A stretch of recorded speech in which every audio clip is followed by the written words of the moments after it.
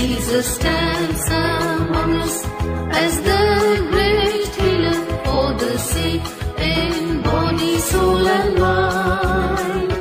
He was bruised, he was wounded so that in him you may find perfect healing of every kind. All your weakness, all your sorrow, all your sicknesses, the